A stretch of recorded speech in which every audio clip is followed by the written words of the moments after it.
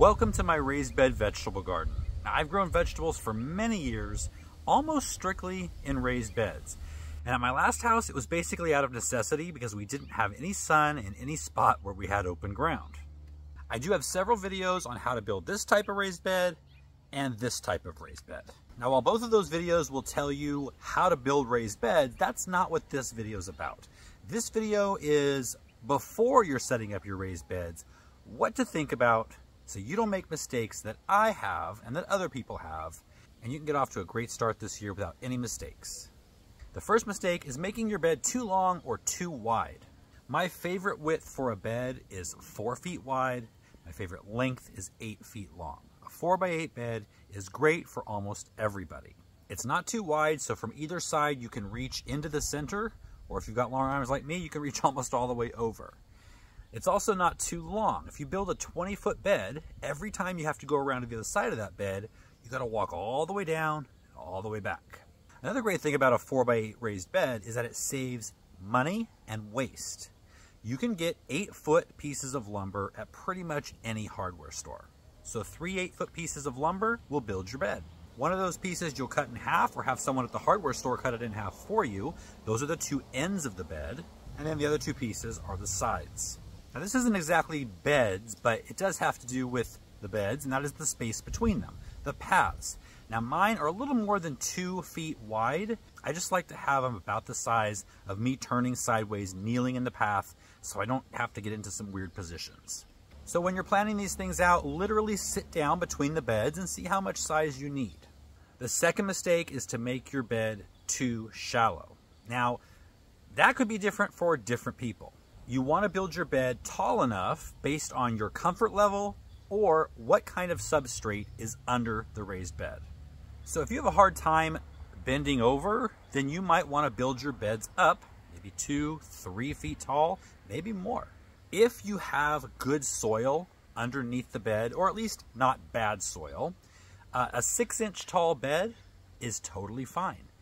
If you have concrete like I used to have, then you're going to need 12 to 14 inches depth in your raised bed. Most vegetables want to send their roots down about a foot. And so if you have a six inch tall raised bed and then you have soil underneath that, that's fine. If you don't, you need to give them that foot above whatever that substrate is. Now here we have a gopher problem. And so when I first built my beds, I built them six inches tall and I put hardware cloth underneath to keep the gophers out. Totally does its job, lasts for years. I recommend it to anyone who has a gopher issue. The problem I've had with these six inch deep beds with the gopher wire underneath them is you can't plant you know, long carrots or parsnips or anything like that. They have to be short ones, which isn't that big of a deal. The other problem I had was trying to put in like uh, a teepee trellis for beans, let's say. You only got that far to pound them in, and that's not really far enough. The wind took them over. So in the three beds that I built last year to expand the width of the garden, I actually doubled the height. And now it's 12 inches deep, just two uh, two by sixes on top of each other. And what's great about these simple framed raised beds is you can expand them or build them taller whenever you want to. In fact, over the next couple years, I think I'm gonna take all of my beds and put another two by six on top of them to make them all 12 inches deep. And it's really easy to do. You just stack the boards on top and put a 2x4 or a 4x4 or some piece of scrap wood in the corner to screw into and maybe one more on each side somewhere in the middle of the bed just to keep them from shifting, keep them from bowing out, just keep them together. The third mistake is to make your bed out of the wrong material. Now, there's not a lot of wrong material. In fact, you don't even need material you can make your bed just piling up the soil about 6 to 12 inches tall and planting directly into it. You're still going to get the benefits of drainage and all that good stuff, but you don't have to spend money on any kind of material to hold that in. Now, I prefer the material because I like a neat garden. And if you're like me and you want edges, I would say wood is the cheapest way to go. I use Douglas fir. You can use redwood or cedar. Those will be a little more expensive in the beginning, but they'll probably last a little bit longer. What you want to stay away from is compressed or treated lumber uh, that may not be so good for your health. Now, they're not as dangerous as they used to be when they were actually treated with arsenic. Now they're treated with something called copper azole. It is not organic approved, Whether it leaches into your plants or not, I don't know. I'd just rather be safe than sorry and just replace mine in six or seven years versus however long you'll get out of the treated stuff. To me, it's a good trade-off. These beds here are made out of fabric. The company that made these is Grassroots. I'll put a link below. The great thing about fabric beds is they root prune. And that means as the roots hit the edge of the bed, they detect the oxygen that's coming through that fabric and they actually split. It's like you're pruning them. When you prune or pinch out a plant, it causes more branching. Same thing down below, it causes more roots. So instead of wrapping themselves around, you know, you find a, a pot-bound plant, they just split, split, split, and you get a nice healthy root system. So I love these fabric beds. I actually grew a whole bunch of sweet potatoes in them last year. It was a huge harvest in just two 4x4 raised beds.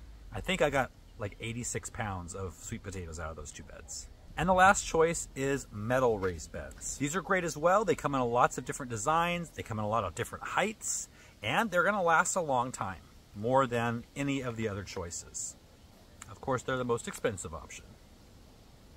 All right, now it's time to fill the bed. So the mistake there would be filling it with the wrong growing medium. This is where most of the cost is gonna be in your raised bed. Therefore, it's probably what most people skimp on but it's really the most important thing. We're growing in raised beds to get all the benefits, one of which, the main one, is good drainage and good soil that's not compacted. You want a light, fluffy texture that you can just dig your hands down into. You'd never be able to do that in the ground. And so you never want to use garden soil to fill your raised beds with. I know it's tempting, especially if you got a lot of extra soil laying around, but it doesn't work the same way. When you fill it with that, it's going to compact. Even some of the best soil. Maybe if you have the best loam in the world, it might work. But do you really want to take that chance? So clay soil, of course not. That's never going to work. Sandy soil, that would never work either. You would lose all the water. It would just drain right through. So you're going to want to use a potting soil or a raised bed mix there's some great bulk options. If you have a mushroom farm near you, you know, look it up. A lot of times they give their mushroom compost away for free. You just got to transport it and shovel it. But it's free. So like I said, the main cost of filling a raised bed is the soil. Now, if you've got a three foot tall raised bed, that's where it can get real expensive. But you only have to worry about the top 12 inches having that good potting soil, raised bed mix, compost, the rest of it can be filled with other types of organic material. Organic meaning they will eventually break down. So you can start on the bottom with some large uh, tree branches, limbs, go up with a layer of smaller branches, up with another layer of twigs, then leaves, get smaller as you go to the top. And over the years, all of that will break down and eventually you'll have good soil all the way throughout. Now just be prepared with this method. It will sink a bit every year. Not a lot, and you'll have to top it up, which you have to do anyway. We'll get to that. But it does make filling a raised bed, a brand new raised bed, a lot cheaper. One thing I would warn you on is do not use grass clippings to fill your raised bed. Unless you want a lovely sewage smell every time you water for at least two months. Ask me how I know.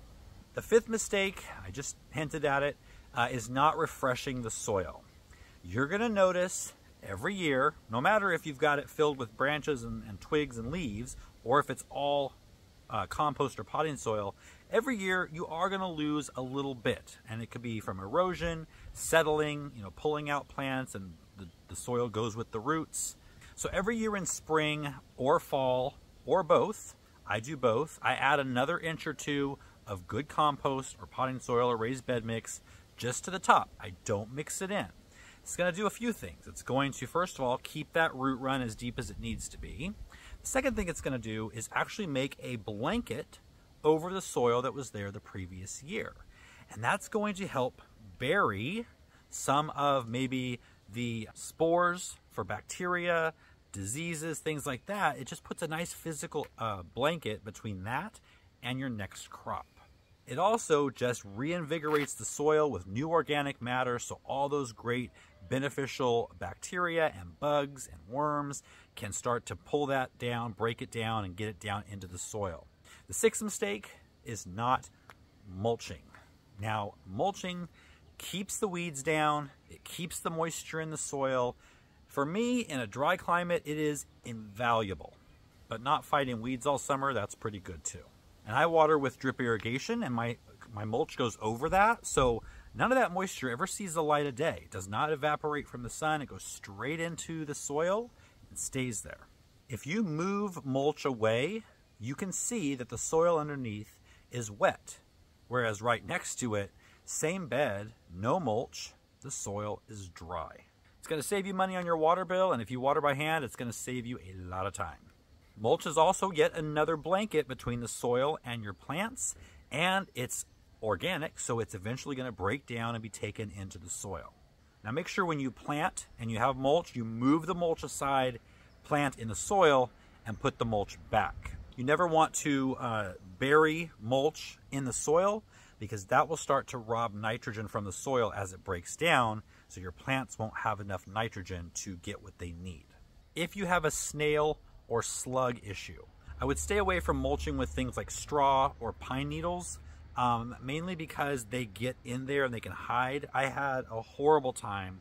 I put straw down as mulch and our wet season is our winter. So in the winter, I put straw down as mulch, and I had never had that much of a problem with snails and slugs. They were everywhere. The seventh mistake is not protecting your beds in the winter. Now, a lot of gardeners skip this step because it's fall, you're tired, you're burnt out from a long hot summer, and you just want to forget about it until spring. That's a big mistake. If you have cold, icy winters, you need to protect the soil. If you just have rainy winters, you need to protect from erosion.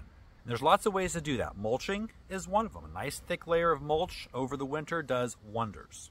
I'll put a link below to a video I did a couple years ago on how to winterize beds both in cold climate winters and mild climate winters.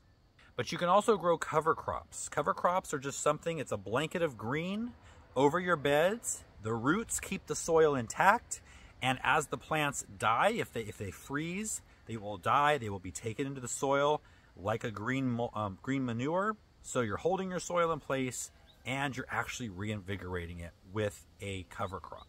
If you live in a cold climate, you might want to use something like winter rye that can handle the cold.